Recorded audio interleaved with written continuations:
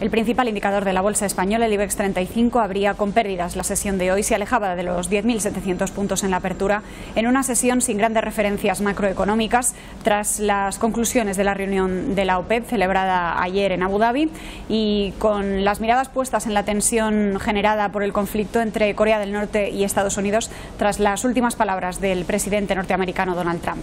En el lado alto de la tabla dentro del IBEX se situaba Celnex, que ganaba un 0,68%, seguido por Técnicas Reunidas, que subían un 0,53%, y Repsol, con una subida del 0,31%. En el lado de las pérdidas, en la apertura, Meliá se dejaba un 1%, Bankia un 0,2% y BBVA un 0,73%. La prima de riesgo española se situaba en el entorno de los 96 puntos básicos al inicio de la sesión. El euro sube hoy, se cambia a un dólar 17 centavos y el barril de crudo Brent de referencia en Europa se sitúa en el entorno de los 51 dólares por barril.